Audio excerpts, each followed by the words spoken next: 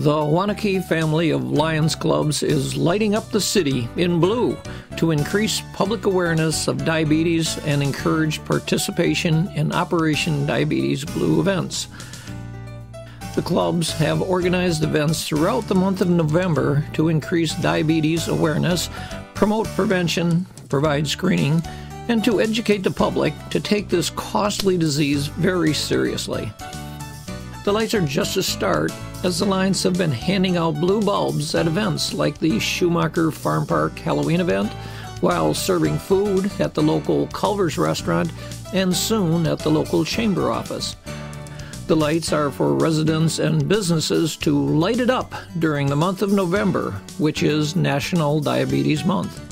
The Lions clubs are also hanging lights along the main street of downtown Waunakee as a reminder and to increase awareness.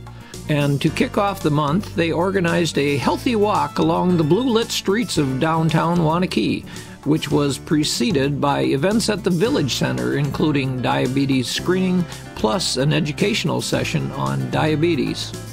The events will culminate with a blues concert at the Waunakee Performing Arts Center on World Diabetes Day, November 14th, where they'll also have diabetes screenings, speakers, and blues music performed by the Madison College Big Band.